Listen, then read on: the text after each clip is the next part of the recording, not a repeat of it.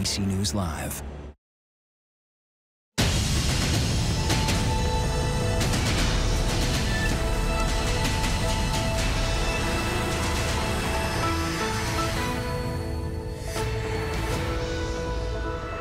Drive-by shootings at the homes of at least four officials are allegedly linked to a failed candidate. How police say he planned the attacks. On the brink of collapse, the infrastructure of the Ukrainian capital of Kyiv is now on the verge of failing after repeated missile attacks as the death toll is rising from a major barrage. White House National Security spokesperson John Kirby joins us to talk about supporting Ukraine and how far the U.S. can go. A Massachusetts man is now charged with murder after the disappearance of his wife.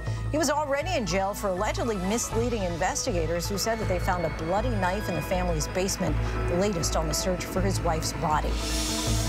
Plus, a horrifying video just released to the public as a man stands trial for a deadly ISIS-inspired attack in 2017. We're seeing the moments after police say they used a truck to run down the victims. And it's a familiar sight, black smoke pouring from the back of a school bus. But more districts are doing away with diesel in favor of electric. And it's not just about the environment, but also protecting future generations. Our students would come and testify at board meetings and really um, push us to reflect on how we were improving our carbon footprint. Good evening, everyone. I'm Lindsay Davis. Thank you so much for streaming with us. Overseas tonight in Ukraine, Russian forces are relentlessly targeting Ukraine's infrastructure in the dead of winter as some Western leaders are debating sending tanks to Ukraine in an effort to help. Matt Gutman and our team were inside a power plant damaged by the shelling, and we'll have more in a moment. We also have White House National Security spokesperson John Kirby standing by. But we begin here at home, where a former Republican candidate for the New Mexico State House is under arrest in connection with brazen political violence against four Democratic officials. Solomon Pena was arrested at his home in Albuquerque yesterday in a SWAT team operation. Authorities say that he was the mastermind behind a conspiracy where four men were paid to shoot up the homes of Democratic officials. One incident hit the bedroom of a state senator's daughter who was just 10 years old. Pena's arrest comes amid a growing number of threats to elected officials from both parties. Mola Lenghi leads us off tonight from Albuquerque. Tonight, authorities say the man approaching this front door is a Republican who lost his election in New Mexico in a landslide, showing up at the homes of state and county Democratic leaders after the election, angry and falsely claiming the election was somehow rigged. Hi, my name's Solomon Pena. Police say 39 year old Solomon Pena arrived at this home looking for one of his alleged targets. Police say over the course of four weeks, four homes were sprayed with bullets. In one home, blasting right through a state lawmaker's 10 year old daughter's bedroom. All of these homes where Democrats lived. Police say Pena hired hitmen to take aim at the homes, and that Pena fired at one of them himself.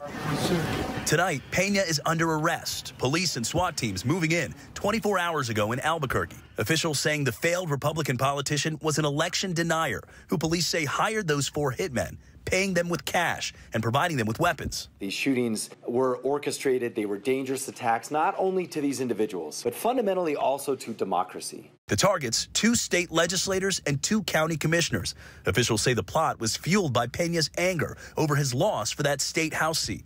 He'd reportedly been in state prison for seven years for burglary, a judge allowing him to run for office. He had complaints about his election. He felt it was rigged. He's an election denier. He doesn't want to accept the results of the election. The first shooting was on December 4th when authorities say County Commissioner Adriann Barboa's home was struck repeatedly by gunfire. Telling us today, My home was shot up, four shots directly through my front door, right through my living room where I had just a few hours before been playing with my grandbaby. Authorities say fortunately no one was injured in any of the shootings.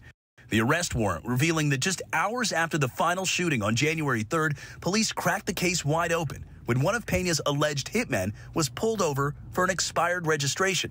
Police say they found cash, guns, and drugs in that car, and it was registered to Pena. At the end of the day, this was about a right wing radical, an election denier who did the worst imaginable thing you can do when you have a political disagreement, which is turn that to violence. Really, such drastic measures taken here. Mola Lenghi joins us now from Albuquerque. Mola, the suspect, Solomon Pena, expressed support for Donald Trump on social media and complained of a rigged election. And really, this is the kind of rhetoric that officials are worried is, is leading to more violence. Well, they are, Lindsay. And you remember that this shooting, these shootings, happening just weeks after the attack on former Speaker Nancy Pelosi's husband in their San Francisco home. The FBI recently warning that the threats, violent threats in particular, against public officials is on the rise nationwide. Now, we should stress that the county commissioner here telling me today that there were no election irregularities here that Mr. Pena lost his election fair and square, Lindsay. Really significant to note that. All right, Mola Lenghi, our thanks to you. The husband of a Massachusetts mother of three who's been missing since New Year's Day has been charged with murder. The news comes while he was already in police custody for allegedly misleading investigators. ABC's Stephanie Ramos has those details. Tonight, the husband of that Massachusetts mother of three who vanished more than two weeks ago on New Year's Day, now charged with her murder. The continued investigation has now allowed police to obtain an arrest warrant charging Brian Walsh with the murder of his wife. Brian Walsh already in police custody for allegedly misleading investigators after Ana Walsh went missing. He's pleaded not guilty. Ana, last seen by a relative in the early hours of January 1st, leaving her Boston area home for a flight to Washington, D.C., that investigators say she never boarded. Authorities launching an exhaustive search after she was reported missing by both her husband and her employer. Police finding a bloody knife in the basement of the family's Cohasset home. Authorities also allege Walsh said the day after his wife disappeared, he left the house to only get a treat for their son, but surveillance footage capturing him at this Home Depot. Sometime after 4 o'clock, went to the Home Depot. He's on surveillance at that time, purchasing about $450 worth of cleaning supplies. That would include mops, bucket, tops, um, Tyveks, uh, drop cloths, uh, as well as various kinds of tape. Stephanie Ramos joins us now. Stephanie, what's next for the suspect? So Walsh is expected to be arraigned tomorrow, where prosecutors are expected to lay out evidence that led to this murder charge. Police say Ana Walsh's body hasn't been found. Lindsay. All right, Stephanie Ramos, our thanks to you. Now to Washington, where President Biden remains under fire after his lawyers revealed this weekend that five more pages of classified documents were found at his Delaware home. The president ignored questions on the matter when pressed during an Oval Office meeting today, as House Republicans say they'll investigate. ABC's chief White House correspondent Cecilia Vega has the latest. President Biden today in the Oval Office all smiles as he ignored questions about the growing number of classified documents found in his Delaware home. Over the weekend, the White House revealing they discovered five more pages of classified material last Thursday. The administration now under fire for not disclosing that information sooner. On Friday, you stood here, though, and were asked about these documents issued by our account some 18 times. At that point, the president's lawyers had found these five additional pages of classified documents. So did you not know on Friday that those documents had been found when you were at the podium? I have been forthcoming from this podium. What I uh, said yes to was what the statement at the time that we all had right? You all had the statement, uh, and I was repeating what the what the uh, counsel was sharing at that time. The press secretary finally acknowledging she didn't know the new documents had been found. I provided the information that you all had at the time, and I confirmed. No, I did not know. House Republicans who have launched their own investigations today attacking President Biden for taking months to admit he kept classified documents from the Obama administration. This is why there's such hypocrisy behind the Bidens once again, something big that comes forward prior to an election where they kind of keep it quiet, where the American public could actually have a say. Now the White House accusing Republicans of their own brand of hypocrisy, noting they showed little interest in investigating Donald Trump, who took hundreds of classified documents to his Mar-a-Lago home and repeatedly refused to hand them over to the FBI. In contrast, the Biden team has been cooperating with the Justice Department from the start. Cecilia Vega joins us now from the White House. Cecilia, there's new reporting tonight on the Justice Department's decision on whether to have FBI agents monitor the search for documents at Biden's Delaware home. Uh, what's the latest there? Yeah, Lindsay, this is a question that has been persistent from Republicans from the start that this story has break, broken, and it is just coming in right now. So we are learning that the FBI considered but ultimately decided against monitoring uh, the lawyers who were searching for these documents. Sources say in part because the Biden team has been cooperating. Look, Lindsay, the White House is not commenting on this one right now, but I can tell you I was here all day. You heard us there in the briefing room with the press secretary. They are in full damage control here, and these questions just keep on coming. They certainly do. All right, Cecilia Vega from the White House, thanks so much. We head overseas now to the war in Ukraine where the ruthless bloodshed continues. This time, an apartment building demolished by a missile made to sink aircraft carriers as a mission to protect power plants continues. Matt Gutman is in Dnipro for us tonight. After a Russian missile obliterated this residential building in Dnipro, the death toll tonight rising to at least 45, six of them children. The same salvo of Russian missiles that destroyed the apartment block also targeting critical infrastructure across Ukraine. And in central Ukraine today, we had rare access to one of the country's battered power plants, hit 12 times since July.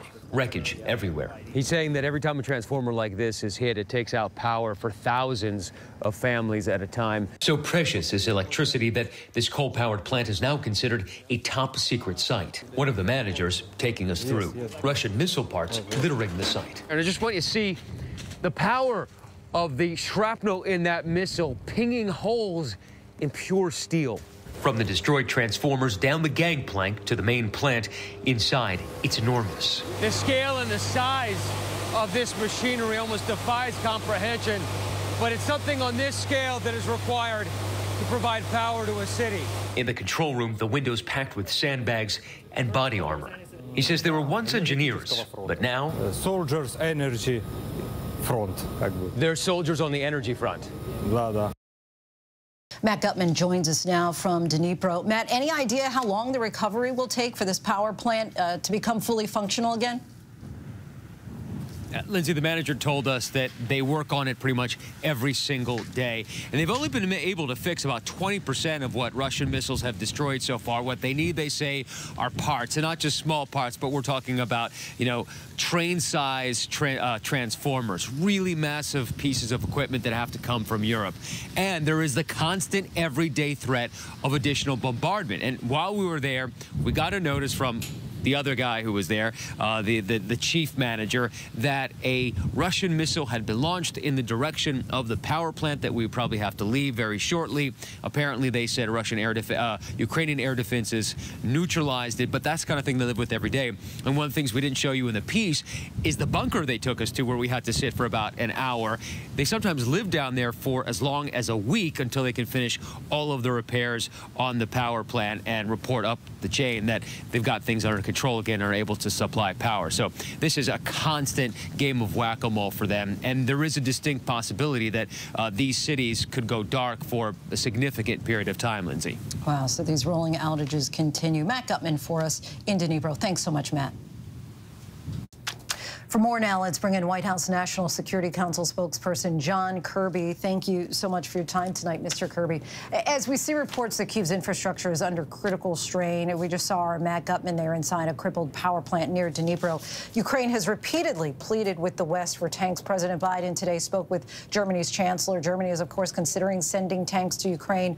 Are tanks at this point simply a red line for the U.S.?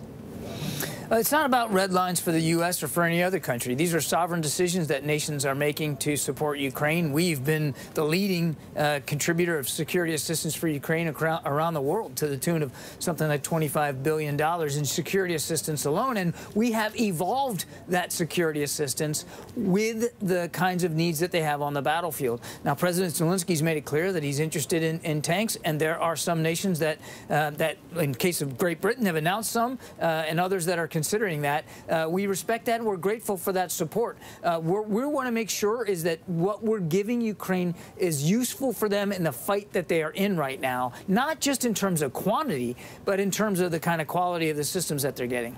Uh, roughly 100 Ukrainian troops arrived on U.S. soil yesterday. What's the timeline for getting them trained? Those tra training has just started. You're right, uh, and uh, we've got in in the case of the Patriot missile batteries that uh, that training has started this weekend uh, here in the United States. That'll take about uh, 10 weeks, uh, and then there'll be several weeks of this combined arms training that that we're doing with Ukrainian battalion-sized units. it'll take several weeks to get them through this combined arms maneuver training, and the idea there is it's not just one and done. We're going to keep battalions coming through that training over the next coming weeks and months months. If Western countries are sending Patriot missiles, aircraft, potentially tanks, Ukrainian soldiers are arriving on U.S. soil to train, at what point would you say that the U.S. and its allies are, are just directly in this war with Russia as opposed to simply providing support? We are supporting Ukraine's ability to defend itself and to defend oneself uh, against the threat that they're posed, uh, that Russia poses, continues to pose to them. Uh, you got to have capabilities, uh, air defense, artillery, armor, ammunition. Um, you also have to have the knowledge to use those capabilities. Now, in some cases, like small arms ammunition, the Ukrainians don't need any help. They know how to fire small arms. But when you're giving more advanced systems, like the Patriot system, uh, like the Bradley fighting vehicles, uh, such as the tanks, I'm sure that that the British now have said that they're going to provide side, that's going to require some training. You're going to have to be able to take some troops uh, off the line. But make no mistake, this is a war Russia has prosecuted against Ukraine. It's Russia's ag uh, against Ukraine. It's not no matter what Putin might say, uh, it's not the West versus Russia. It's not NATO versus Russia. It's certainly not the United States versus Russia. Uh, general Mark Milley met in person today with the top Ukrainian general at the edge of the war zone. Is this the first face-to-face -face meeting after a year of remote meetings? Why is this face-to-face -face so important?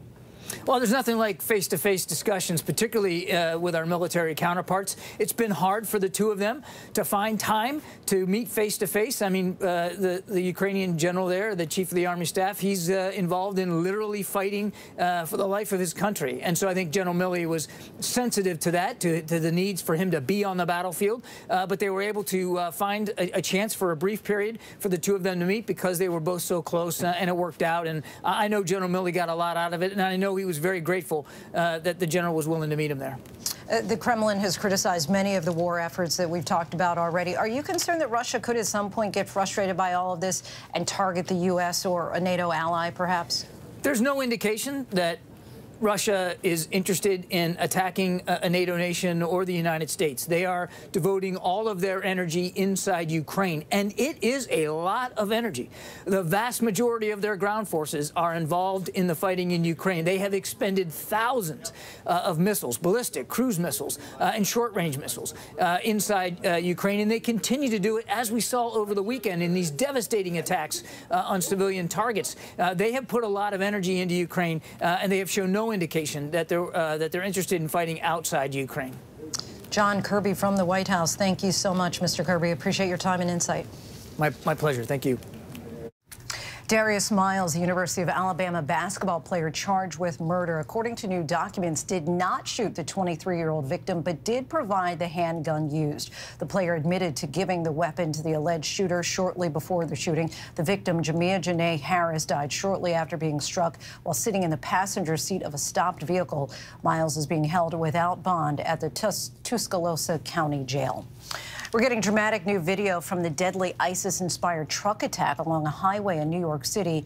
Jurors were shown footage of the suspect running through the street with apparent weapons before an officer shot and wounded him. He's on trial for killing eight people and injuring many more on the Halloween of 2017. Our Aaron Katersky has the new images tonight. It was the deadly terror attack that horrified New York City and the country on Halloween in 2017. Oh and tonight we're seeing this video for the first time capturing the dramatic conclusion. Sayfullo Saipov had driven a rented pickup truck on a busy bike path, running down and killing eight people. We got multiple casualties. This is a mass casualty situation here. The attack ended when he crashed the truck, seen here, into a school bus and then emerged holding a gun in each hand. Prosecutors said he started screaming Allahu Akbar. The guns were fake, but Saipov waved them threateningly, bringing traffic to a halt and prompting police to take aim. Saipov was shot several times. Wow.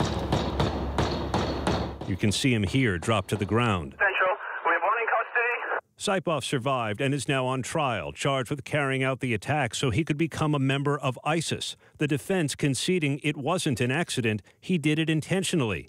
But the defense said Saipov pleaded not guilty because he didn't want to join ISIS. He wanted to die a martyr. Aaron Katersky joins us now. And Aaron, you're actually standing at the intersection where the attack ended. What can we expect to hear during the rest of this trial? Prosecutors still have a lot more evidence to prove that Sayfullo Saipov Lindsay acted not only with inspiration from ISIS, but because he wanted to join ISIS, become a full-fledged member of the Islamic State. And if he is convicted of the federal charges, he could face the death penalty. Lindsay? All right. Aaron Katersky for us. Our thanks to you, Aaron. Back overseas, where there's a search for answers after a horrific plane crash in Nepal that killed all 72 people on board. Investigators are now examining the black boxes to try to figure out why the pilot reportedly asked to switch runways just before landing. ABC's Britt Clennett reports tonight from Nepal. Tonight, experts from France are on the ground in Nepal investigating why Yeti Airlines Flight 691 banked sharply to its left and crashed into a thousand foot deep gorge Sunday, just one minute before landing. Ambulance after ambulance showing just how many lives were lost in this horrific crash. At the hospital where families received the bodies of loved ones, I met the uncle and father of the captain. We as it is are exhausted.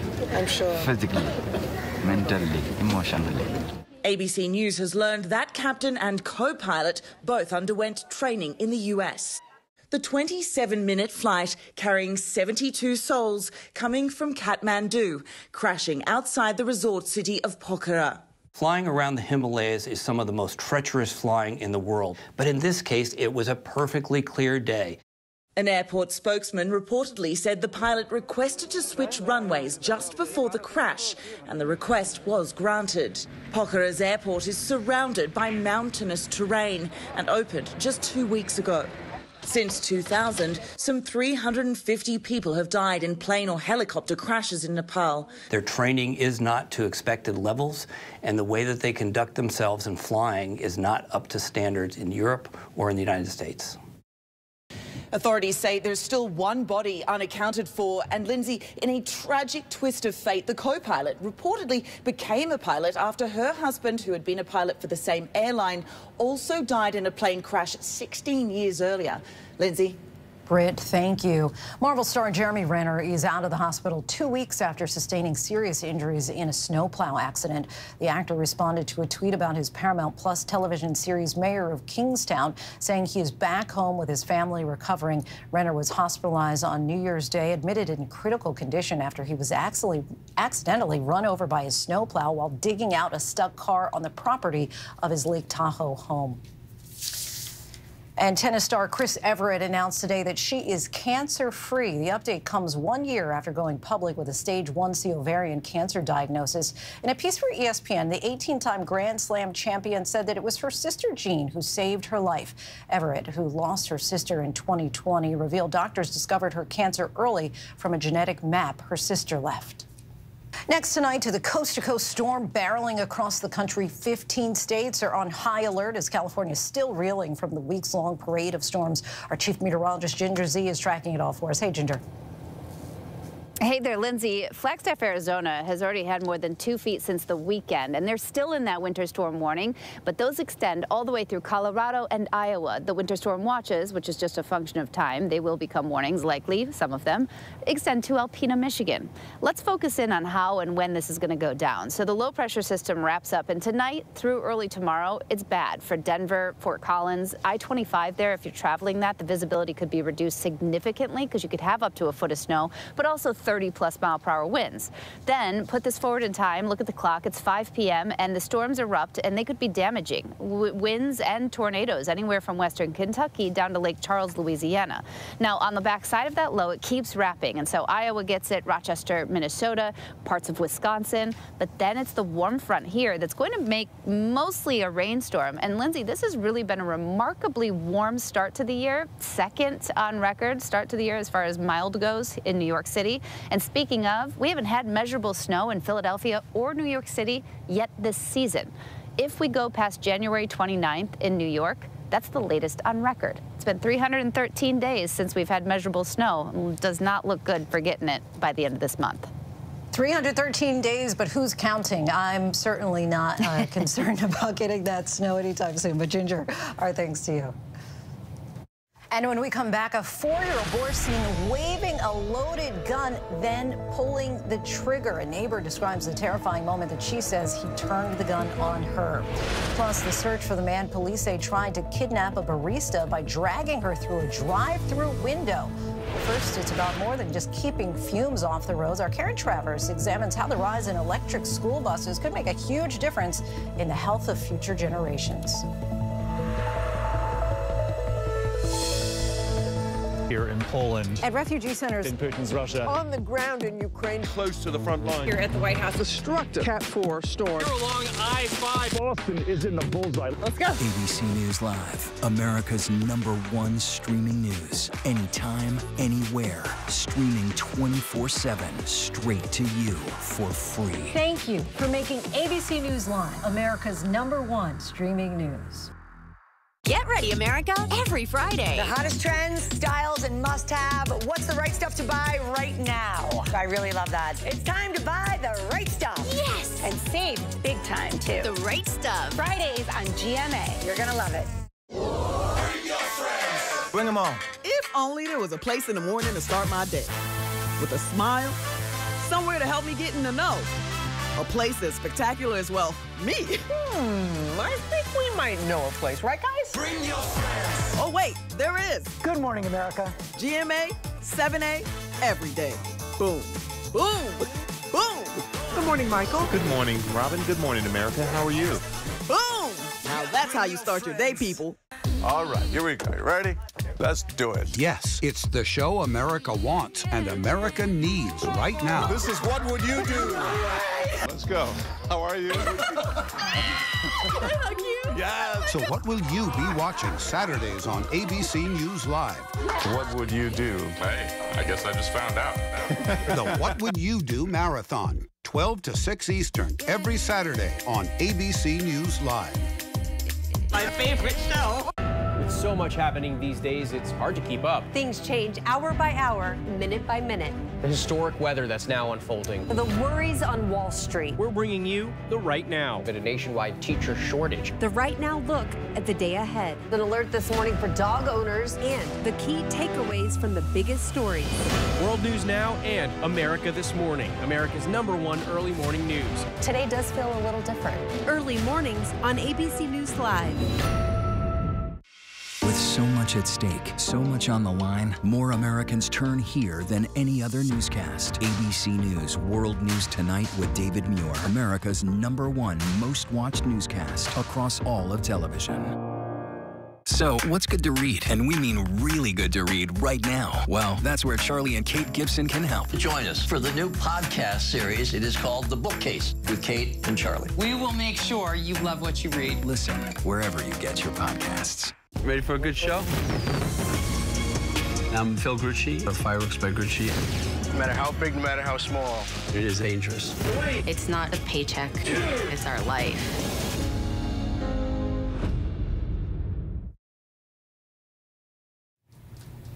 Take a look at this video. Police say it shows a man trying to abduct a barista at a drive-through in Washington state. Officials say that he attempted to drag her through the window using a zip tie. The victim was able to fight him off. Thankfully, a few hours ago, with the help of the community, police were able to make an arrest. School districts across the country are beginning to roll out electric buses to get children to and from school, with a big boost from the federal government to the tune of $5 billion from the 2021 bipartisan infrastructure law. The vehicles are quieter and better, better for the environment and children's health, devoid of the black smoke and diesel fumes long synonymous with the nearly 500,000 buses on the road today. ABC's Karen Travers has a look at the technology and how it could transform how 25 million American children get to and from school every day. It's a familiar sight and smell, the black smoke and diesel fumes pouring out of the nearly 500,000 school buses that shuttle 25 million American kids to and from school every day. The wheels on this bus go round and round, but with an electric engine powering them, they're practically the only things making noise. So Sheila, we, we really don't hear anything right now. You don't. If anything, all I hear is the heater going. The heater is ours that we have right now. We just have a little click on it. Sheila Martinez has been driving school buses in Montgomery County, Maryland, just outside the nation's capital, for eight years. Can you please tell Mr. Beasley we are we are coming back? Last year, she made the switch from a diesel-powered vehicle to one that runs on electricity. It's quiet, it's smooth, the AC work great, mm -hmm. the heat work great, and it's perfect. Across the nation, many school districts are electrifying their fleets. It's now law in Maryland that by 2025, all newly purchased school buses are electric. New York is doing the same by 2027. Officials say key goals are to reduce greenhouse gas emissions and reduce the dirty fumes kids, parents, and drivers have been inhaling for decades. The kids are on the bus more than half an hour. So, of course, it's healthy for them, yes. Experts say school buses are a great fit for electrification. Drivers have a set route in the morning and in the afternoon, and they go relatively short distances. And the buses can sit parked in the lot all day in between, charging up. In 2021, Montgomery County Schools ordered the single biggest fleet of electric school buses in the nation. They'll have 326 on the road in two years. In 10 years, they'll have an entirely electric fleet. Dr. Monifa McKnight is the Montgomery County Schools superintendent. She tells us it was students who led the initial charge to make the county's 1,400 buses electric. Our students would come and testify at board meetings and really um, push us to reflect on how we were improving our carbon footprint. The buses shuttling kids to Montgomery County schools burn 17,000 gallons of diesel fuel a day. The district aims to cut its emissions by 80% by 2027 and 100% by 2035, in part by electrifying its fleet. Some school districts that are making the shift to electric buses are getting a big boost from the federal government. Hundreds of thousands of our children will no longer be inhaling exhaust from diesel school buses. The bipartisan infrastructure law, a signature piece of legislation from the Biden administration, includes $5 billion for clean school buses. The EPA has already given out nearly a billion dollars to hundreds of school districts across the country, helping them make the transition to clean buses. But the government requires applicants to also scrap their diesel buses, sometimes making it difficult for school districts who don't own their own vehicles to get any of that money. There seems to be a real awakening that electric is what the future is going to be for the student transportation industry. Kevin Matthews is the head of electrification at First Student, the largest operator of school buses in North America. He tells us that every school bus that transports students takes 35 cars off the road. So then when you convert that to zero emissions, the air quality improvement is even significantly higher. Uh, so the overall benefits are quite high for the environment, for the children, and for the communities where the school buses operate. Children whose lungs are still developing are particularly vulnerable to the fumes from diesel exhaust. Recent studies have shown that when kids are exposed to less diesel emissions, their lungs function better. They're absent from school less, and they even have slightly higher test scores. When we remove diesel emissions, uh, we see the health implications, um, but we're also reducing the exacerbation that we see from transportation climate change and global warming. EPA Administrator Michael Regan says that without the infrastructure law funding, it would likely take decades longer for schools to make this transition. This is an awesome opportunity for us to electrify our transportation system, really ramp up our manufacturing, uh, but also solve very serious environmental and health disparities. Montgomery County Public Schools tells us there's been no additional cost from switching to electric buses, thanks in part to the thousands of dollars they save on diesel fuel each day. And as a superintendent, I always try to reflect on what are the needs of our district and where are places that we are able to save. We're building trust with our community by showing them that we're being fiscally responsible. That investment is on display every day when Sheila Martinez spends hours on her electric bus, shuttling elementary, middle, and high school students throughout the county. Do the kids realize they're on something different, that it's different than the old buses or the buses that some of their schoolmates might be on? They do. Actually, they, they love it. The kids love it. Still ahead here on Prime, the major drugstore now lifting restrictions on the purchase of over-the-counter medicines for children. He's known for his viral takes on ESPN, but Stephen A. Smith tells us he's now opening up about challenges that he faced during his childhood and finding his passion for sports reporting. And a summit for some of the world's richest and most well-connected leaders. But what exactly happens there? We take a closer look at the annual World Economic Forum in Davos by the numbers. But first, our tweet of the day. This tweet and video from none other than Madonna announcing her celebration tour, combining four decades of her music and greatest hits all in one concert. The Celebration Tour. Four decades of music featuring her greatest hits. Much much at stake, so much on the line, more Americans turn here than any other newscast. ABC News World News Tonight with David Muir, America's number one most watched newscast across all of television. With so much at stake in our world right now, we wanted to thank you for your trust and for making ABC News America's number one news. And thank you for making ABC News Live America's number one streaming news. This is where I belong. This is home. Real dirt in the sunlight again. I'm very excited. Anything could happen at any moment. My heart is so happy right now. We're making magic. We're making magic.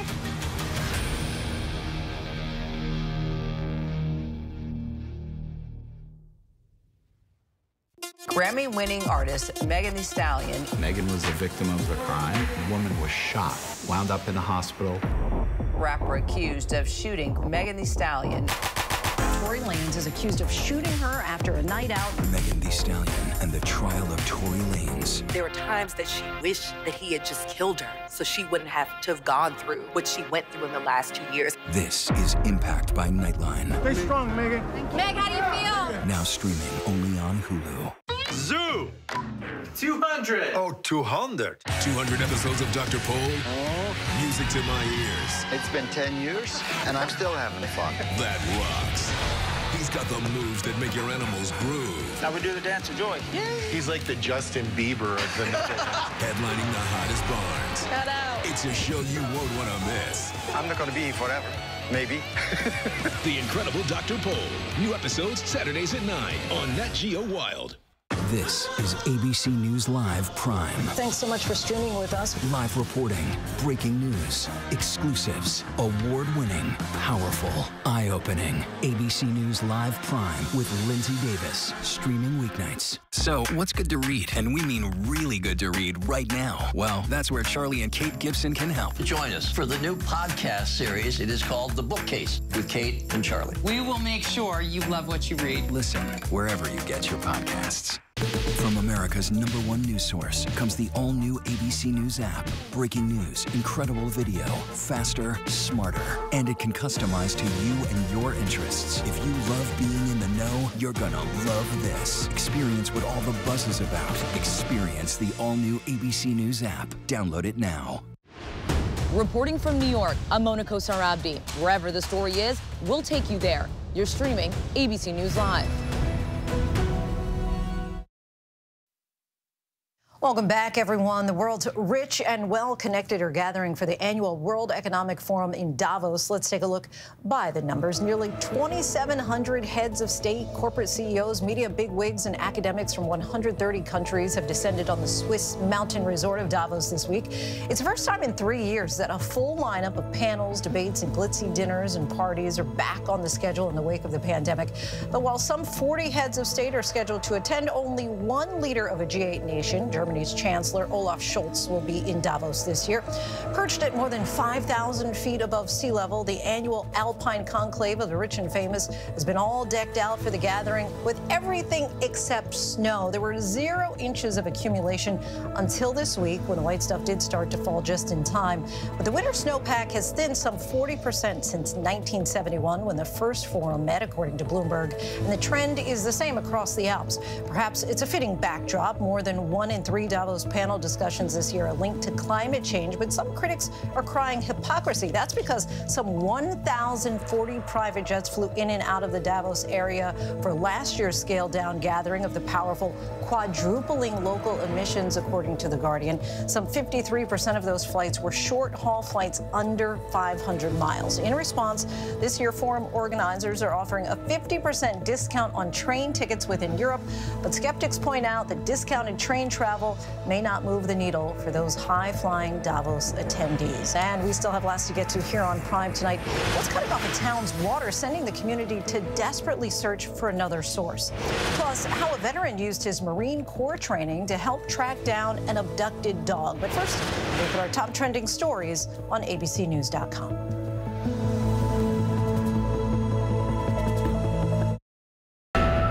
much happening these days, it's hard to keep up. Things change hour by hour, minute by minute. The historic weather that's now unfolding. The worries on Wall Street. We're bringing you the right now. Been a nationwide teacher shortage. The right now look at the day ahead. An alert this morning for dog owners and the key takeaways from the biggest stories. World News Now and America This Morning, America's number one early morning news. Today does feel a little different. Early mornings on ABC News Live. This is where I belong. This is home. Real dirt in the sunlight again. I'm very excited. Anything could happen at any moment. My heart is so happy right now. We're making magic. We're making magic.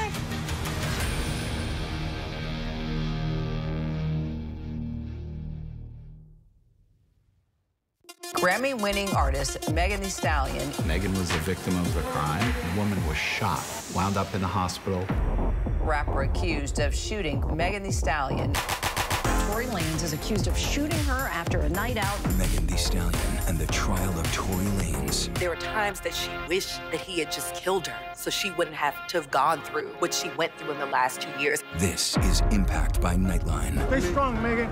Meg, how do you feel? Now streaming only on Hulu. Get ready, America, every Friday. The hottest trends, styles, and must have. What's the right stuff to buy right now? I really love that. It's time to buy the right stuff. Yes. And save big time, too. The right stuff. Fridays on GMA. You're going to love it. Now streaming on ABC News Live 2020. True crime, cinematic, real life drama, stunning, the unthinkable. Follow the clues. The Hunt. True crime 2020. Now streaming on ABC News Live. All right, here we go. You ready?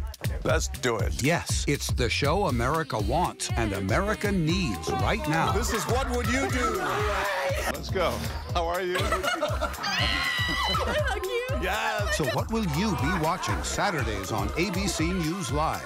What would you do? Hey, I guess I just found out. the What Would You Do Marathon, 12 to 6 Eastern, every Saturday on ABC News Live. My favorite show.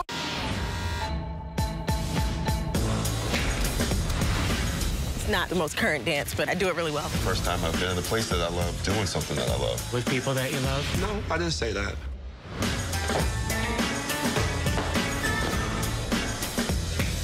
Come on, y'all, make some noise.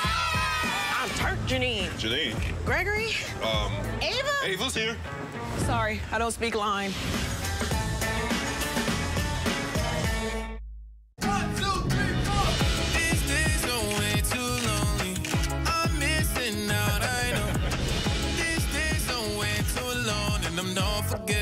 Love away, but I want action. Someone to love me.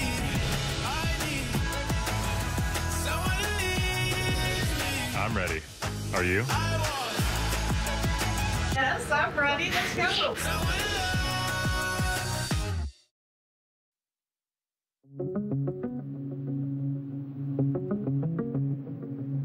Video from Indiana showing a toddler waving a loaded gun outside his apartment. Beech Grove police say the boy was holding a semi-automatic Smith & Wesson, then pulled the trigger, though the gun did not fire. The boy at the time was with his father. He was arrested and charged with felony neglect of a dependent. The child was released to his mother's care. A downstairs neighbor told ABC News that the boy had pointed the gun at her. He was at the top of the stairs and he kind of leaned down and um, that's when he pointed the gun at me and said, look what I got. Um, and kind of laughed, haha. Jury selection today in a class action lawsuit against Elon Musk. It's Elon Musk versus Tesla investors in this class action lawsuit in a San Francisco courtroom. In 2018, long before he claimed he would buy Twitter and take it private, Elon Musk tweeted that he lined up financing to pay for a $72 billion buyout of his electric car company Tesla. Stocks rallied and then halted once it was clear that deal was not happening. Musk eventually settled with the SEC for $40 million and as part of that agreement stepped down as chairman. Investors who owned Tesla stock during that 10 day period in August of 2018 are a part of this suit. Officials in Scottsdale, Arizona, leaving homeowners outside the city limits high and dry, cutting them off from getting their water from the city after years of access. Officials say persistent drought has forced them to take the drastic measure in order to conserve water for those who live within the city limits. Arizona is one of 33 states currently experiencing moderate or worse drought conditions. The Scottsdale cutoff affecting roughly 1,000 households in Rio Verde foothills. The city of Scottsdale telling ABC News that for nearly a decade, they've warned Rio Verde foothills residents about this possibility. Walgreens saying it has lifted limits on purchases of over the counter pediatric fever reducing medicines. The pharmacy giant said improved in stock conditions of the medications allowed it to remove its online only purchase limit. The move comes after months of rising demand for children's cold and flu medicine, with multiple viruses spreading, causing shortages in available medicines and prompting major pharmacy chains to limit how much customers could buy at a time. Meanwhile, Rite Aid told ABC News it planned to lift its own limits by the end of this week, but CVS said its current limits were still in place. The stars of the hit reality show Chrisley Knows Best reporting to prison to serve a combined 19 year sentence for bank fraud and tax evasion. Todd Chrisley serving his 12 year sentence at federal prison camp Pensacola in Florida, while Julie will spend the next seven years at a minimum security satellite camp in Lexington, Kentucky. Their case still under appeal. Federal prosecutors say the couple swindled at least $30 million from community banks between 2007 and 2012. A jury finding them guilty on all charges. Their hit reality show Chrisley Knows Best premiered in 2014 and followed the life and times of the real estate tycoon and his family. It gives me immense personal pride as the Vice President of the United States to say Dub Nation is in the house. Vice President and Bay Area native Kamala Harris welcomed the NBA champion Golden State Warriors to the White House. The ceremony honored the team's fourth title in eight years, though they skipped White House visits in 2017 and 2018 when then President Trump was in office. President Biden complimented their work on and off the court. Look at what this team does speaking out against racism, standing up for equality. NBA Finals MVP Steph Curry presented the president and vice president with their own jerseys. We are a team, we do it together, and to be able to celebrate our championship together with you here, it means a lot. His fans know him for his hot takes and big personality on ESPN's First Take, but in his new book, Straight Shooter, a memoir of second chances and first takes, Stephen A. Smith opens up about his childhood, a dream playing basketball cut short, and finding his passion in sports reporting. Stephen A. Smith in the house, ladies and gentlemen. It's good to see you. How you doing? So good to have you Yeah. here. Let's start with mom. Uh, you talk about how she worked two jobs, supporting six kids, uh, and, and her strong influence on you. Just give us a sense of, of her fingerprints on, on your life. Everything. Uh, she's the greatest woman I've ever known, and she's the one person on the planet that I knew beyond a shadow of a doubt loved me unconditionally. And so um, everything that I do, every day that I walk this earth is in an effort to make her proud and to make her proud of the fact that I kind of followed the path that she wanted me to follow. You know, it's one thing to be successful, but to go from getting left back in the fourth grade to becoming a successful journalist, that's a bit different. And so um, she had a lot to do with that, her unwavering faith in me, her belief in me, her tireless efforts for me, uh, the manner in which she held me accountable, all of those things came into play and to know what she had to endure in order to do those things just made me revere her that, that much more. A- And you talk, I want to quote here that you write that your mom told you, own what you say and do, stand on it, even if the fallout is something that is not in your favor. Uh, your book is obviously entitled Straight Shooter.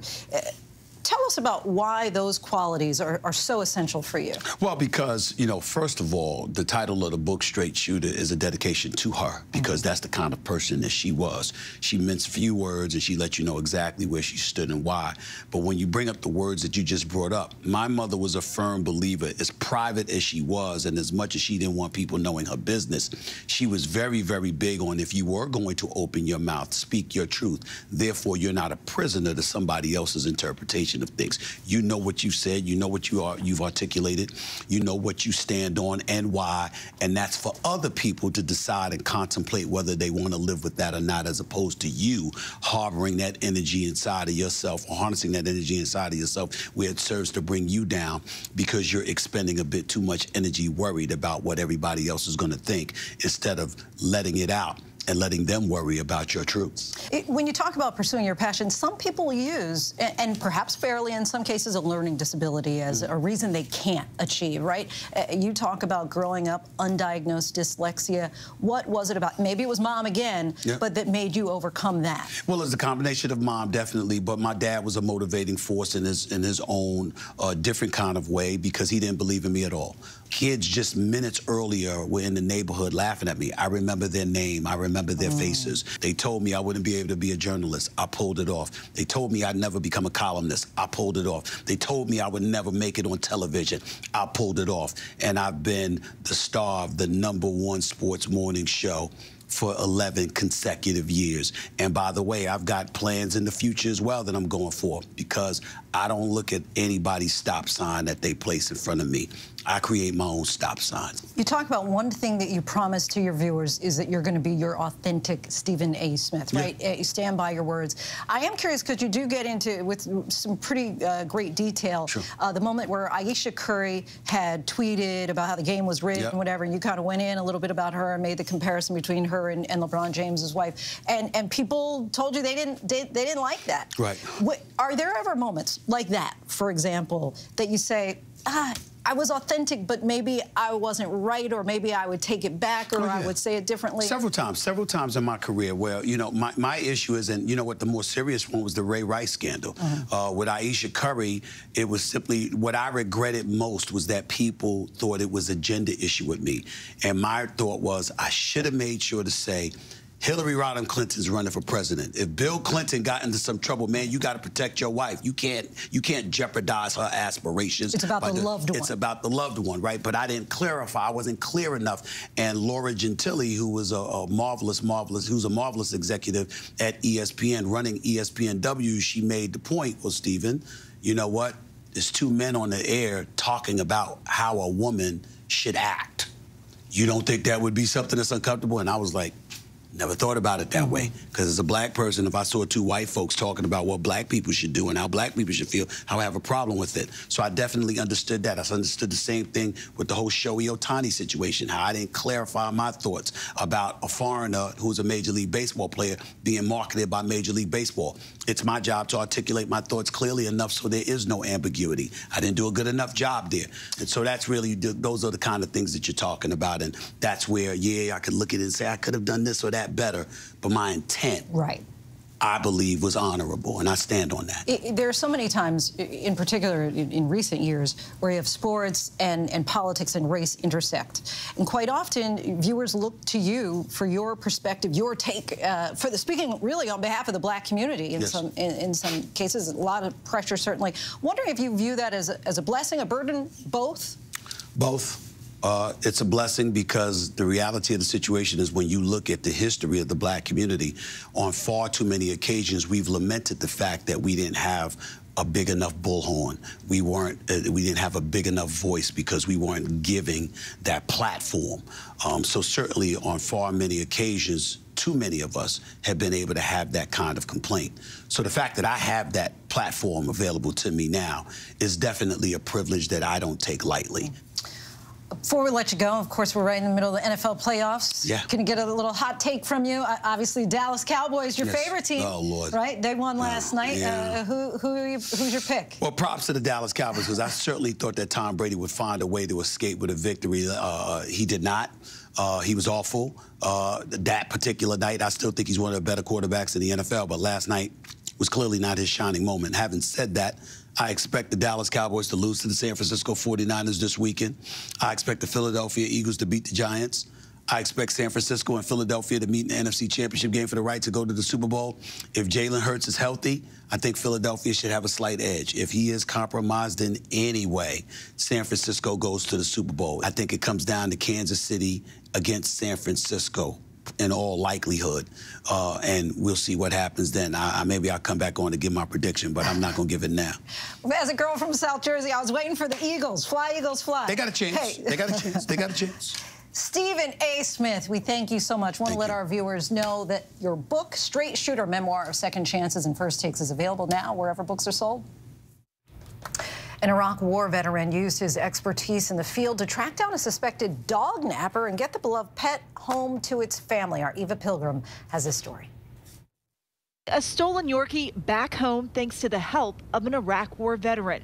Richard McAmer says the intelligence training he learned as a Marine helped him track down the dog nappers and the pup.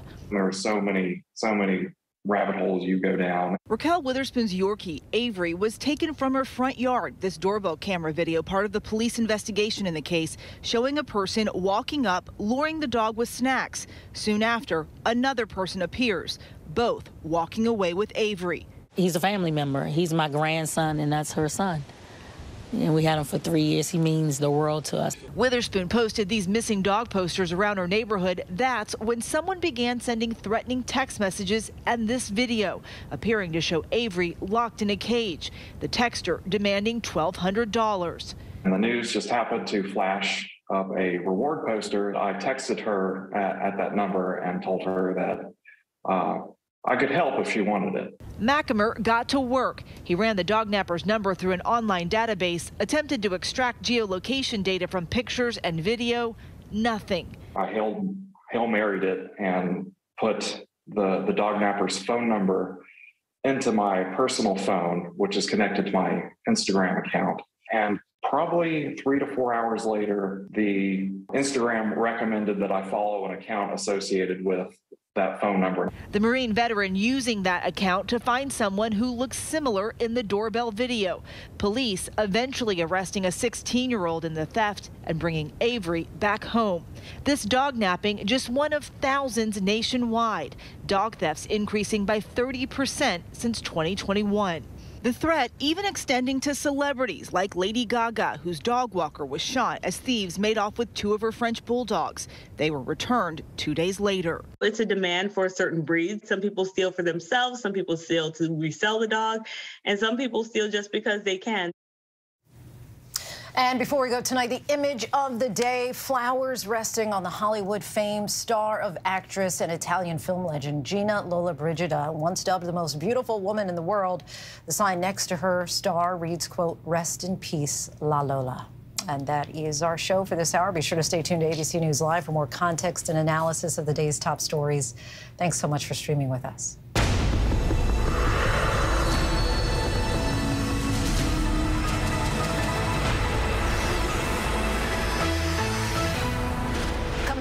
Next hour, staying on top of a few things. Who's now set to inherit Elvis Presley's famous 120-acre estate after the death of his daughter, Lisa Marie?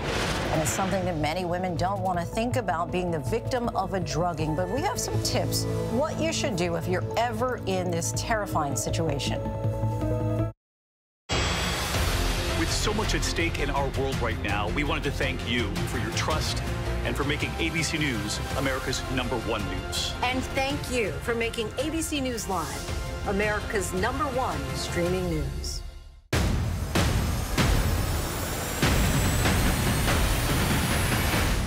After an extraordinary news-making year, thank you for making ABC's This Week America's number one news and politics show on Sunday mornings. You never know what you're going to get on this show. That's all I'm going to tell you. Yes, Whoopi! This mic on?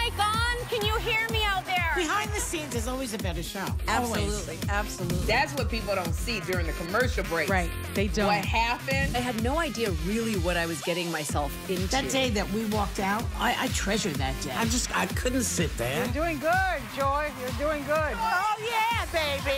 It was crazy. Behind the table. Listen wherever you get your podcasts. From America's number one news source comes the all new ABC News app. Breaking news, incredible video, faster, smarter. And it can customize to you and your interests. If you love being in the know, you're gonna love this. Experience what all the buzz is about. Experience the all new ABC News app. Download it now. We're honored ABC's 2020 winner of three Emmy Awards for Excellence. Thank you for making 2020 Friday night's most watched and most honored news magazine. This is where I belong. This is home. Real dirt in the sunlight again. I'm very excited. Anything could happen at any moment. My heart is so happy right now. We're making magic. We're making magic.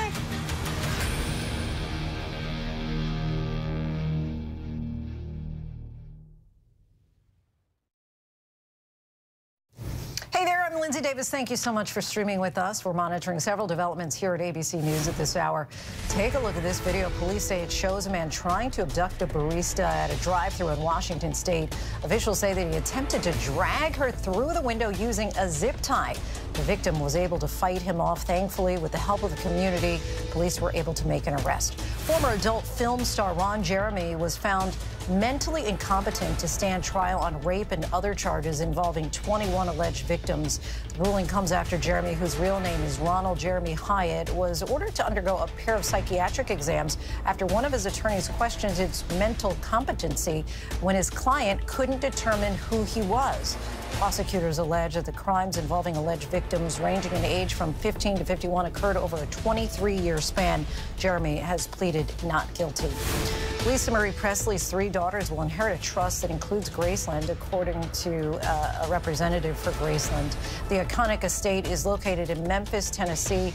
Lisa Marie Presley died on January 12 after being rushed to the hospital. The singer-songwriter is the only child of singer and actor Elvis Presley and businesswoman Priscilla Presley.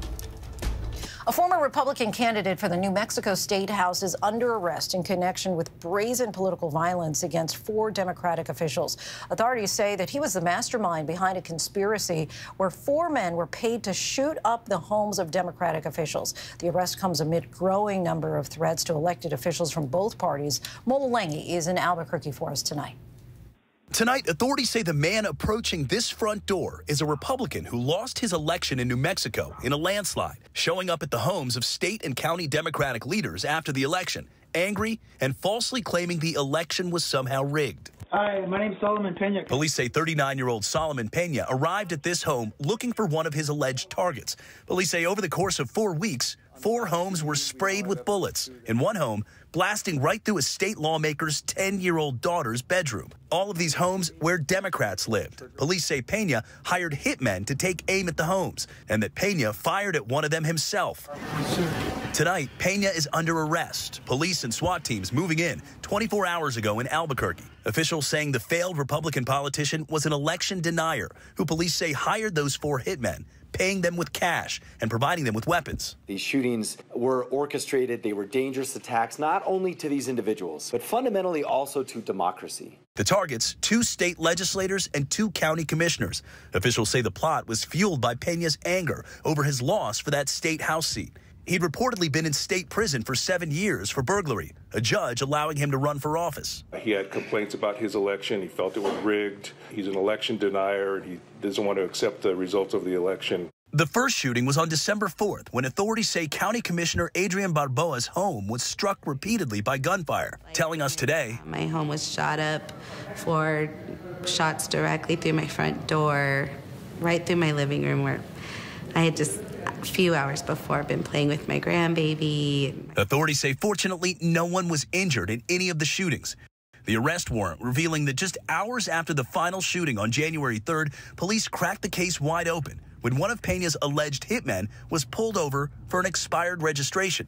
Police say they found cash, guns, and drugs in that car, and it was registered to Pena. At the end of the day, this was about a right wing radical, an election denier who did the worst imaginable thing you can do when you have a political disagreement, which is turn that to violence.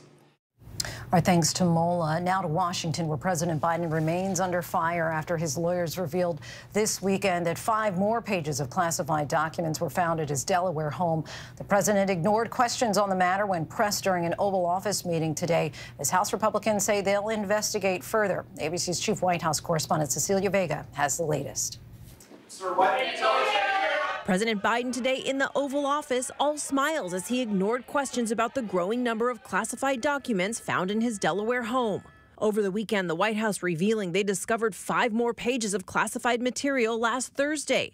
The administration now under fire for not disclosing that information sooner. On Friday, you stood here, though, and were asked about the documents issued by our account some 18 times. At that point, the president's lawyers had found these five additional pages of classified documents. So did you not know on Friday that those documents had been found when you were at the podium? I have been forthcoming from this podium. What I uh, said yes to was what the statement at the time that we all had right? You all had the statement, uh, and I was repeating what the what the uh, counsel was sharing at that time. The press secretary finally acknowledging she didn't know the new documents had been found. I provided the information that you all had at the time, and I confirmed. No, I did not know. House Republicans who have launched their own investigations today attacking President Biden for taking months to admit he kept classified documents from the Obama administration. This is why there's such hypocrisy behind the Bidens once again. Something big that comes forward prior to an election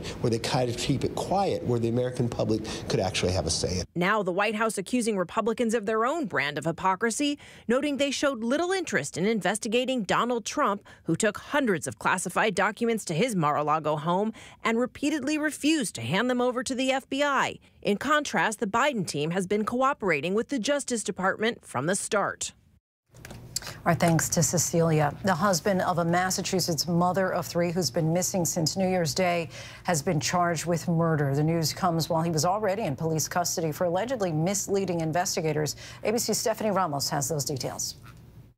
Tonight, the husband of that Massachusetts mother of three who vanished more than two weeks ago on New Year's Day, now charged with her murder. The continued investigation has now allowed police to obtain an arrest warrant charging Brian Walsh with the murder of his wife. Brian Walsh, already in police custody for allegedly misleading investigators after Ana Walsh went missing. He's pleaded not guilty. Ana, last seen by a relative in the early hours of January 1st, leaving her Boston area home for a flight to Washington, D.C., that investigators say she never boarded. Authorities launching an exhaustive search after she was reported missing by both her husband and her employer. Police finding a bloody knife in the basement of the family's Cohasset home. Authorities also allege Walsh said the day after his wife disappeared, he left the house to only get a treat for their son, but surveillance footage capturing him at this Home Depot. Sometime after 4 o'clock, went to the Home Depot. He's on surveillance at that time, purchasing about $450 worth of cleaning supplies. That would include mops, bucket, tops, um, Tyveks, uh, drop cloths, uh, as well as various kinds of tape. Our thanks to Stephanie for that. Dramatic new video from the deadly ISIS-inspired truck attack along a highway in New York City. The assailant is on trial for killing eight people and injuring many more on Halloween of 2017. Jurors were shown video of him running through the street with apparent weapons before an officer shot and wounded him. Our Aaron Katersky has the new images tonight. It was the deadly terror attack that horrified New York City and the country on Halloween in 2017. Oh and tonight we're seeing this video for the first time capturing the dramatic conclusion. Sayfullo Saipov had driven a rented pickup truck on a busy bike path, running down and killing eight people. We got multiple casualties. This is a mass casualty situation here. The attack ended when he crashed the truck, seen here, into a school bus and then emerged holding a gun in each hand. Prosecutors said he started screaming Allahu Akbar.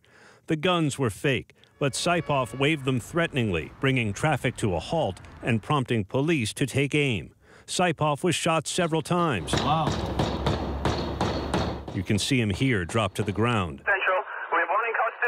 Saipov survived and is now on trial, charged with carrying out the attack so he could become a member of ISIS. The defense conceding it wasn't an accident, he did it intentionally. But the defense said Saipov pleaded not guilty because he didn't want to join ISIS. He wanted to die a martyr. Our thanks to Aaron. We head overseas now to the war in Ukraine where the ruthless bloodshed is intensifying, this time an apparent building demolished by a missile made to sink aircraft carriers. As the mission to protect power plants continues, Matt Gutman is in Dnipro for us tonight. After a Russian missile obliterated this residential building in Dnipro, the death toll tonight rising to at least 45, six of them children. The same salvo of Russian missiles that destroyed the apartment block also targeting critical infrastructure across Ukraine. And in central Ukraine today, we had rare access to one of the country's battered power plants, hit 12 times since July wreckage everywhere. He's saying that every time a transformer like this is hit, it takes out power for thousands of families at a time. So precious is electricity that this coal powered plant is now considered a top secret site. One of the managers taking us through. Russian missile parts littering the site. And I just want you to see the power of the shrapnel in that missile pinging holes in pure steel. From the destroyed transformers down the gangplank to the main plant, inside, it's enormous. The scale and the size of this machinery almost defies comprehension, but it's something on this scale that is required to provide power to a city. In the control room, the windows packed with sandbags and body armor. He says they were once engineers, but now. Uh, soldiers' energy front. They're soldiers on the energy front. Those rolling blackouts continue. There are thanks to Matt. Earlier, I spoke with White House National Security spokesperson John Kirby and asked him about the Ukrainian troops now on U.S. soil being trained. Uh, that training has started this weekend uh, here in the United States. That'll take about uh, 10 weeks. Uh, and then there'll be several weeks of this combined arms training that, uh, that we're doing with uh, Ukrainian battalion-sized units. it'll take several weeks to get them through this combined arms maneuver training. And the idea there is it's not just one and done. We're going to keep battalions coming through that training over the next coming weeks and months. If Western countries are sending Patriot missiles, aircraft, potentially tanks, Ukrainian soldiers are arriving on U.S. soil to train, at what point would you say that the U.S. and its allies are, are just directly in this war with Russia as opposed to simply providing support? We are supporting Ukraine's ability to defend itself and to defend oneself uh, against the threat that they're posed, uh, that Russia poses, continues to pose to them. Uh, you got to have capabilities, uh, air defense, artillery, armor, ammunition. Um, you also have to have the knowledge to use those capabilities. Staying overseas now, where there's a search for answers after a horrific plane crash in Nepal that killed all 72 people on board. Investigators are now examining the black boxes to try to figure out why the pilot reportedly asked to switch runways for landing just before the crash. ABC's Britt Clennett reports tonight from Nepal. Tonight, experts from France are on the ground in Nepal investigating why Yeti Airlines Flight 691 banked sharply to its left and crashed into a thousand foot deep gorge Sunday, just one minute before landing. Ambulance after ambulance showing just how many lives were lost in this horrific crash. At the hospital where families received the bodies of loved ones, I met the uncle and father of the captain. We as it is are exhausted. I'm sure. Physically, mentally, emotionally. ABC News has learned that captain and co pilot both underwent training in the US the 27 minute flight carrying 72 souls coming from Kathmandu, crashing outside the resort city of Pokhara. Flying around the Himalayas is some of the most treacherous flying in the world, but in this case, it was a perfectly clear day. An airport spokesman reportedly said the pilot requested to switch runways just before the crash, and the request was granted. Pokhara's airport is surrounded by mountainous terrain and opened just two weeks ago. Since 2000, some 350 people have died in plane or helicopter crashes in Nepal. Their training is not to expected levels, and the way that they conduct themselves in flying is not up to standards in Europe or in the United States. Many demanding change there, are thanks to Britt. Still to come, why climate activist Greta Thunberg was carried away by police in Germany and exposing the truth behind dangerous black markets. Journalist Mariana van Zeller tells us what it's like to uncover the world's most illegitimate trades. These informal, these black and gray markets actually make up for almost half of the global economy, and yet we know so little about them. This is ABC News Live. The crush of families here in Poland. At refugee centers in Putin's Russia. On the ground in Ukraine, close to the front line. Here at the White House, destructive Cat 4 storm. Here along I-5. Boston is in the bullseye. Let's go. ABC News Live, America's number one streaming news. Anytime, anywhere. Streaming 24-7, straight to you for free. Thank you for making ABC News Live America's number one streaming news. Bring them on. If only there was a place in the morning to start my day. With a smile, somewhere to help me get in the know. A place as spectacular as, well, me. Hmm, I think we might know a place, right, guys? Bring your friends. Oh, wait, there is. Good morning, America. GMA, 7A, every day. Boom, boom, boom. Good morning, Michael. Good morning, Robin. Good morning, America. How are you? Boom! Now that's how you start your day, people. All right, here we go. You ready? Let's do it. Yes, it's the show America wants and America needs right now. This is What Would You Do? Let's go. How are you? hug you? Yes. So, what will you be watching Saturdays on ABC News Live? What would you do? Hey, I guess I just found out. the What Would You Do Marathon, 12 to 6 Eastern, every Saturday on ABC News Live.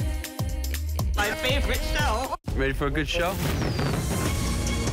I'm Phil Grucci of Fireworks by Grucci. No matter how big, no matter how small. It is dangerous. It's not a paycheck, it's our life. Now streaming on ABC News Live 2020. True crime, cinematic, real life drama, stunning, the unthinkable. Follow the clues, the hunt. True crime 2020. Now streaming on ABC News Live. Welcome back. We're tracking several headlines around the world. Climate activist Greta Thunberg was carried out and detained by police along with others during protests against the demolition of the coal village in Germany. According to a police spokesperson, it was not clear what would happen to Thunberg or the group that she was detained with, or whether an activist who actually jumped into the mine was injured.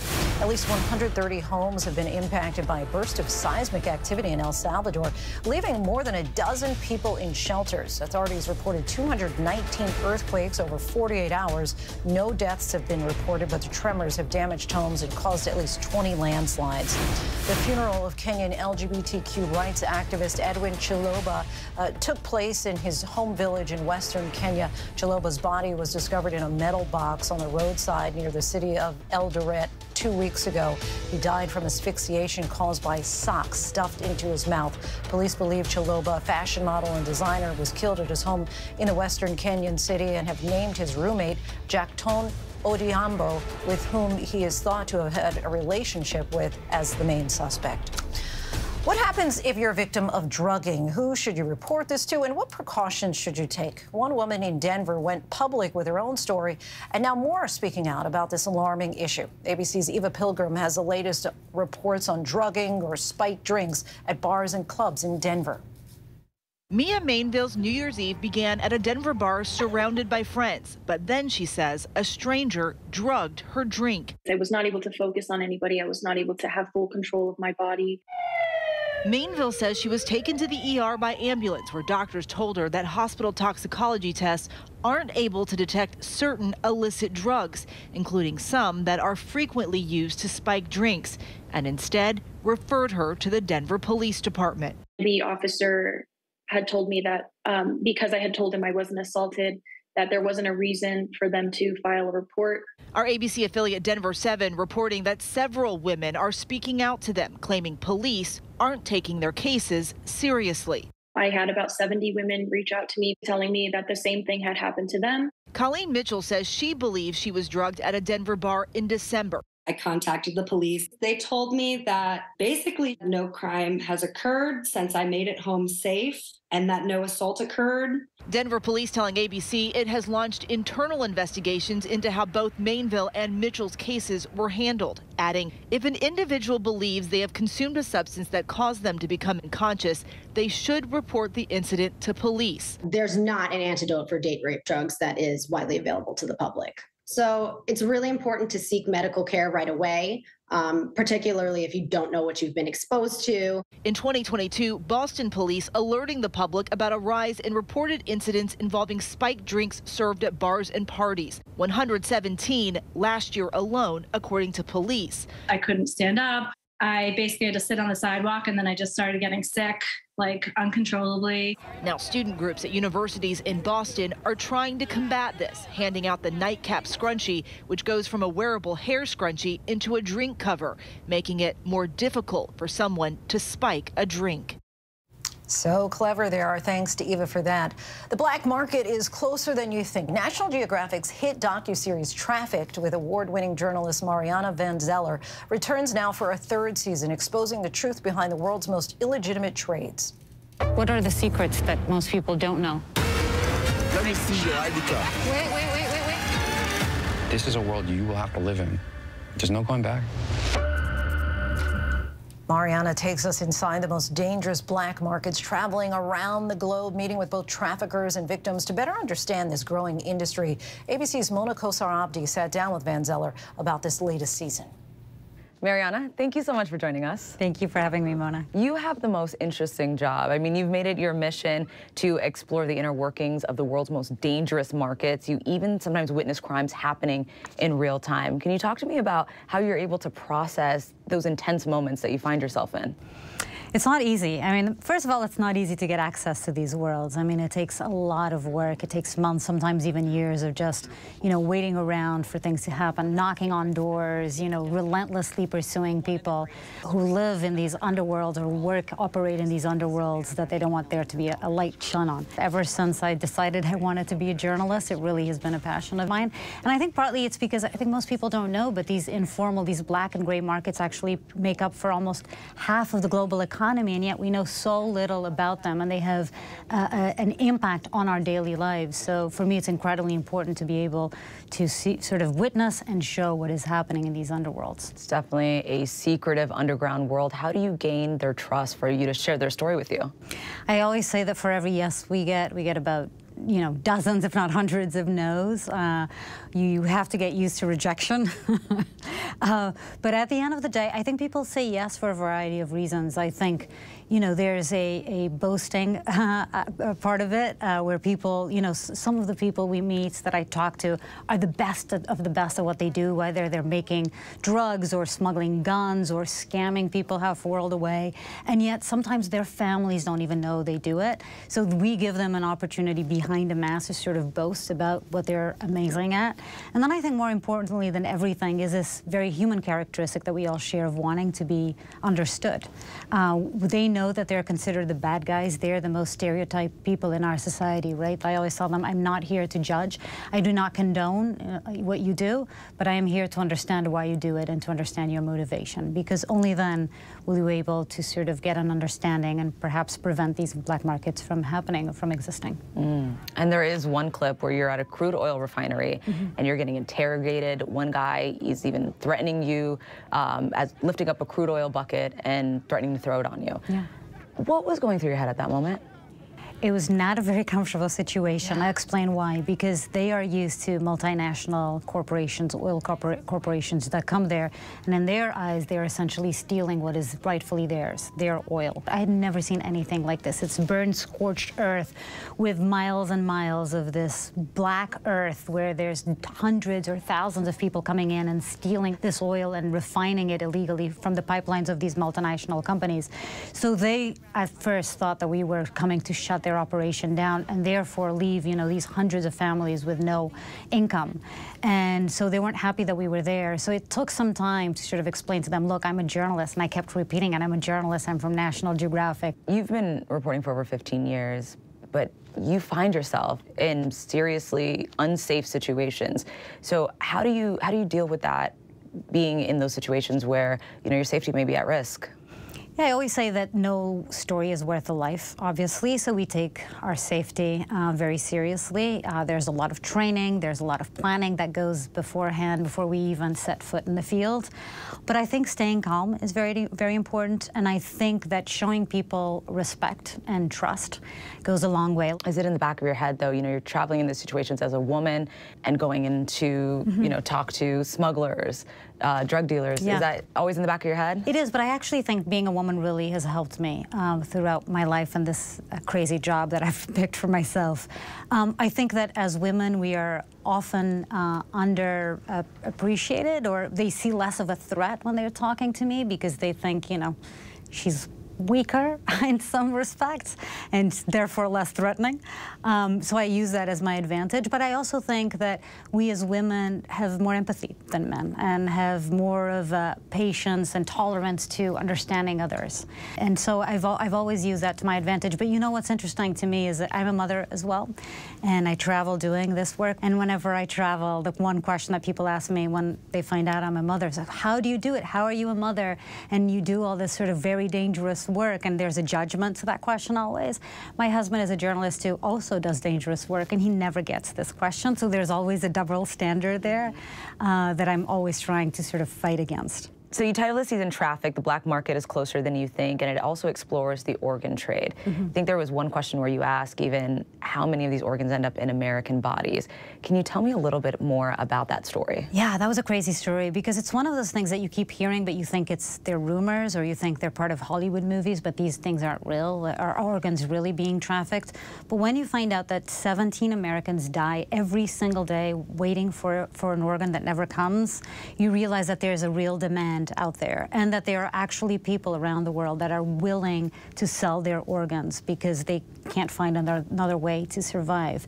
So this market, this crazy black market for organs actually exists. And so we were able to sort of film the whole process and several people involved in the process of, you know, from the doctor's side to the people who are selling the organs um, and to the people who are also receiving these black market organs. So we, I, I think it was one of the most poignant interviews throughout the season was with this organ recipient who bought this organ in the black market for hundreds of thousands of dollars. And he looked at me and he said, you can judge me, but what would you do? If you were in my position and if you were dying or a loved one was dying, what would you do? Mm. I think it's a, a really good, important question. Lastly, what do you hope that viewers are able to take away from this season? I think it's very important to understand that these black markets are all around us. Um, they're, you know, you might think of a black market as these drugs or guns or scams or organ trafficking, crypto scams, cyber piracy, all of this happening in sort of far away, dark, deep corners of the world, but they're actually happening all around us. They're much more prevalent than we think. They have a deep and important impact, um, a negative impact in our lives. So trying to understand who are the operators, what motivates motivates them. Again, the understanding before the judging is really, truly the only way that we'll be able to tackle and, and combat these issues. Our thanks to Mona and Mariana for that conversation. And you can catch the start of the new season of Traffic tomorrow night on Nat Geo and streaming on Hulu. Still to come, breaking barriers and winning titles in the process, how two sisters are dominating on the wrestling mat.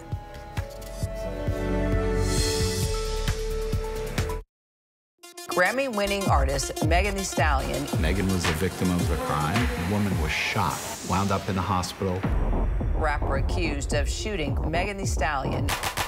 Tory Lanez is accused of shooting her after a night out. Megan Thee Stallion and the trial of Tory Lanez. There were times that she wished that he had just killed her so she wouldn't have to have gone through what she went through in the last two years. This is Impact by Nightline. Stay strong, Megan. Meg, how do you feel? Now streaming only on Hulu. Zoo! 200! Oh, 200. 200 episodes of Dr. Pol. Oh. Music to my ears. It's been 10 years, and I'm still having fun. That rocks. He's got the moves that make your animals groove. Now we do the dance of joy. Yay. He's like the Justin Bieber of the Headlining the hottest barns. Cut out. It's a show you won't want to miss. I'm not going to be here forever. Maybe. the Incredible Dr. Pol. New episodes Saturdays at 9 on Nat Geo Wild. From America's number one news source comes the all new ABC News app. Breaking news, incredible video, faster, smarter, and it can customize to you and your interests. If you love being in the know, you're gonna love this. Experience what all the buzz is about. Experience the all new ABC News app. Download it now. Reporting from Tarrytown, New York, I'm Rob Marciano. Wherever the weather is, we'll take you there. You're streaming ABC News Live. All right, we are talking about two sisters. One is 11, the other nine. They are inspiring other girls to get on the mat and try their hat at wrestling. The pair is from Sea Isle, New Jersey. They're breaking barriers and winning major titles as they dominate the sport. In tonight's local lowdown, our partner station WPVI introduces us to these amazing athletes. There has to be like two people in the sport. You have to have someone to make you better. For me, that person is my sister. Good. Head position. Head positions. We practice together. We get better technique and become better wrestlers. Still, some people say it's not a sport for girls, but we show that you can do anything boys can do. Do it twice. Well, it's inspiring to other girls. Like when my sister first started, there were only like Three two- girls. three girls on the team, and now including me. there's 23. So I think it's really helped grow girls wrestling. Up, one, up, Kira was five, and she said that she wanted to wrestle. one, up, So I talked to my wife. She said, you know, let her let her give it a try. down, seven, About midway through the following season, down, twelve. Bryn saw all the accolades and everything that Kira was getting, so she said, I, I want to give this a try. And now we're traveling across the country. Push, snap, front headlock, circle, score. Two-time state champs, both of them won states twice. And they've won a lot of boys events as well. Push, Kira, push back. You know, watching them as a dad, it's crazy. I wrestled growing up, but they've already are significantly more accomplished than I ever was. Good job. Good job, Kira. I want to go to the Olympics. I think it would be really amazing for someone who started out when she was just a little five-year-old girl to become an Olympic champion. Everybody bring it in. I've gotten this far, so why can't I just get farther? Why not? Why not push until she gets further? Our uh, much success to both of those young ladies there. And that's our show for tonight. Be sure to stay tuned to ABC News Live for more context and analysis of the day's top stories. I'm Linsey Davis. Thanks so much for streaming with us. Good night.